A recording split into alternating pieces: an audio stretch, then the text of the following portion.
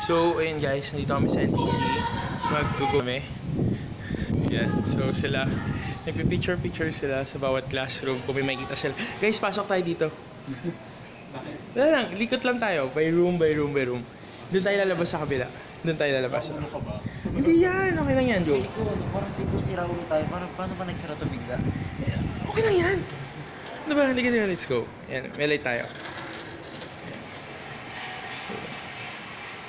So, nandito tayo sa room 404, di ba? 448. So, yun.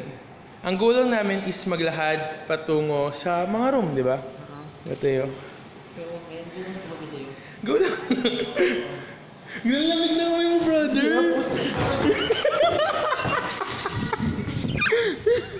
Uy, ano ba? Pupunta pa tayo sa Oksay. Go, go. Go, let's go.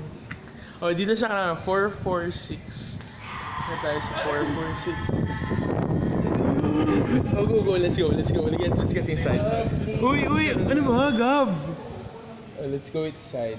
Okay, bukas tong kwarto to. So, ito, 446. Room to ng mga high school student, right?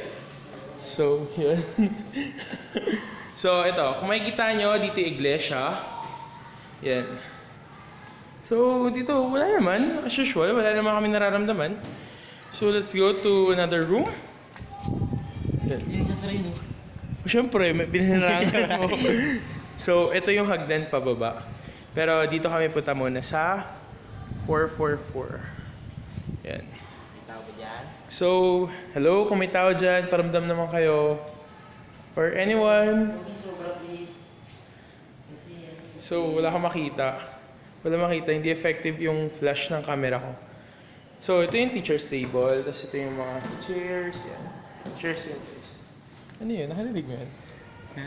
Narinig mo yan? Yung... May sounds sa door, ay sa wall.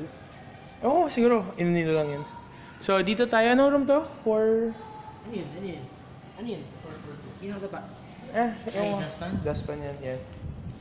So, yun. Ito medyo, dito kami nag-room. And wala naman akong feel dito. Stay So, yun. Yun, mapatatapos na yung time. So, yan. Pupuntahan pa namin hanggang kabila. Doon kami sa putasa. Doon sa kabila. So, yun. Wait.